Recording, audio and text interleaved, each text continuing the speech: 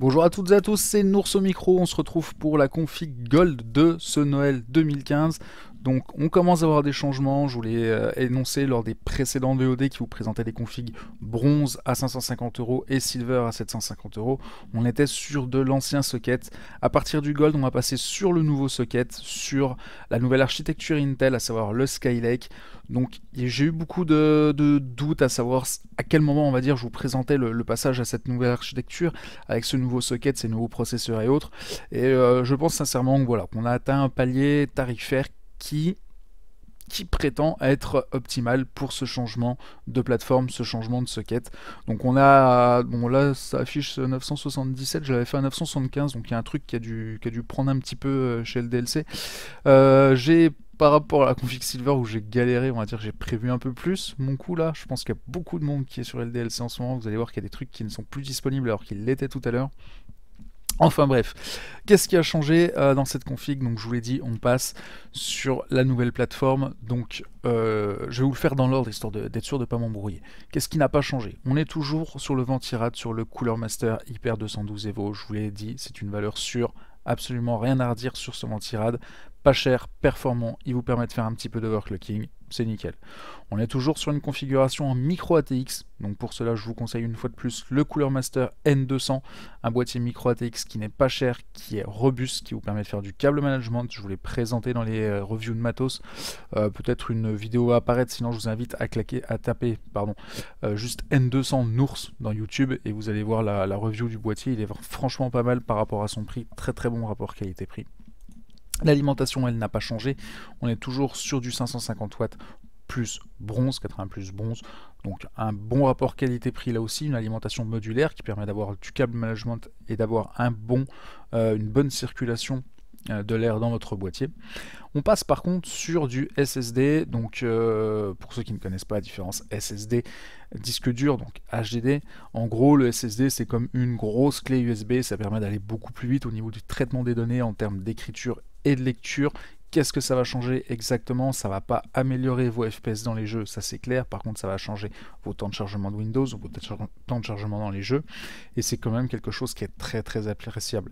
Les prix des SSD sont chers par rapport au disque dur. Vous voyez que pour 500 Go, donc la, capacité équivalente euh, aux, espaces de stockage des précédentes configurations, je vais y arriver, donc toujours 500 Go, là on est à 180 euros au lieu de, il me semble, 40 euros, je crois, ou 50 euros. Donc Grosso modo, on va dire que c'est 4 fois plus cher, oui, mais c'est beaucoup plus rapide. Et euh, j'estime que quand on approche du seuil fatidique des 1000 euros, on est en droit d'avoir euh, un PC, voilà, un PC qui a un peu de réactivité, un peu plus rapide, etc., etc. Donc je vous ai mis un SSD 550, 850 Evo alors, il y a une petite histoire sur la mémoire TLC ou MLC. Oui, la MLC est mieux que la TLC, mais c'est un contrôleur Samsung. Le, SSD est garanti, je crois, 5 ans. Donc ne vous en faites pas, ça ira très bien là-dessus. J'en ai acheté, j'en ai monté plusieurs, j'ai eu aucun souci avec cela. Au niveau de la RAM, on est passé, vous allez le voir, sur de la DDR4 tout simplement, puisque comme je vais vous le présenter bientôt, on est passé sur le nouveau socket, donc euh, le Z170 et sur les nouveaux processeurs Intel, à savoir les Skylake, qui gèrent la DDR4. Et on va donc prendre 8 Go toujours, pas la peine de prendre plus, pardon, de DDR4 en fréquence 2400 avec un CL de 14, donc ça c'est le premier timing on va dire. Euh, c'est un petit ça serait long de vous expliquer euh, la comparaison DDR3, DDR4, donc peut-être je vous ferai une vidéo dédiée à ça, je ne vais pas le faire ici. Sachez que voilà, c'est pareil, à ce niveau tarifaire, on peut se poser la question si oui ou non on passe le cap du nouveau chipset DDR4. J'ai décidé de le faire de manière à avoir un changement par rapport au config de l'été. Et, euh, et, donc j'ai opté pour ces 8 Go de DDR4 de chez Corsair en low profile de manière à être sûr de ne pas gêner l'installation du Ventirad. Très bonne, euh, très bonne RAM garantie à vie par Corsair prix relativement euh, contenu vis-à-vis de la qualité de la RAM. Vous pouvez y aller les yeux fermés. En termes de carte graphique, on n'a pas évolué par rapport à la configuration précédente. On est toujours sur une GTX 960, donc toujours Inno 3D, mais pourquoi pas une autre marque, hein, j'ai aucun souci là-dessus, du moment que c'est un système de ventilation personnalisé, pas le système de ventilation stock qui a tendance à faire chauffer les cartes graphiques. La carte mère, voilà, c'est là où ça commence de changer un petit peu. Donc vous le voyez, c'est écrit ici socket 1151 euh, chipset. Tout à l'heure, j'ai dû me tromper, j'ai dû dire socket Z170, c'est en fait le chipset Intel Z170. Donc carte mère de chez ASRock qui va vous permettre bah, de faire tout ce que toutes les cartes mères vous permettent de faire, c'est-à-dire de mettre votre processeur, votre RAM, votre carte graphique, d'y relier, bah, dans le cas présent, votre SSD. Vous aurez de l'USB 3 en façade. Euh, vous avez pas mal de prises derrière, euh, donc euh, bah, forcément le HDMI, le DVI ici, de l'USB 3 de partout. Le port PS2 qui peut être utile si vous avez un clavier en PS2. Puis carte son basique, hein, de toute façon les chipsets son sont un petit peu tout pourris sur les cartes mères, invite vraiment, si vous voulez avoir une bonne qualité sonore, à prendre un chipset son déporté. Pareil pour la qualité du micro, type euh, petite carte son USB déportée. Donc carte mère pas trop chère, qui va vous permettre euh, de gérer la DDR4 et surtout qui va vous, euh, qui a un slot M2 pour la suite des événements. On va dire vous pourrez évoluer dessus. donc voilà, bonne carte mère, on va dire d'entrée de gamme par rapport à ce prix. Et pour aller sur cette carte mère, le nouveau, l'un des nouveaux processeurs Intel pardon, de la série Skylake qui gère la DDR4 et la DDR3, elle, low profile, à savoir un i5 6500 version non K, donc non overclockable.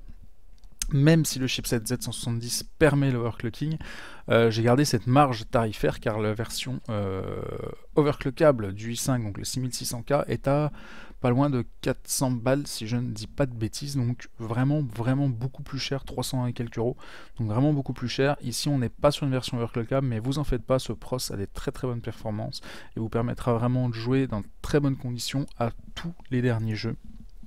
Donc la carte graphique, on va dire, sera votre, euh, votre poste goulet euh, sur cette configuration. C'est ce qu'il faudra faire évoluer et c'est ce qui va évoluer par, rapport à la configuration platine, vous allez le voir. A, on, commence à taper dans une configuration qui est très modulable. C'est difficile après de vous conseiller des choses, parce que ça va dépendre de votre budget, de vos choix, des jeux auxquels vous jouez, etc. etc. Mais on est vraiment dans une configuration très très équilibrée et très modulable.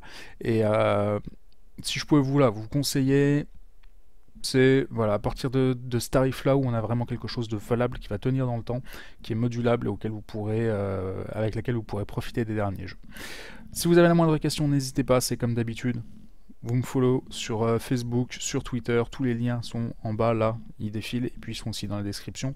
Sur le forum Macosfriend aussi, bien sûr. Et puis vous pouvez vous poser vos questions euh, aussi forcément dans les commentaires de la vidéo. Je vous fais des bisous, je vous dis à bientôt. N'hésitez pas à aller voir les autres votes en cliquant dessus.